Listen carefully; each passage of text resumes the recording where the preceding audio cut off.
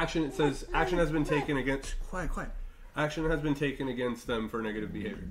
Uh, thanks for keeping Fortnite fun and friendly community. Let's go. I love it. I love to see it.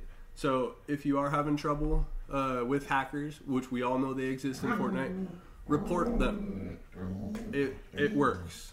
They're taking care of it at least for what they can do at least. So it's good to see. I'm happy to see this.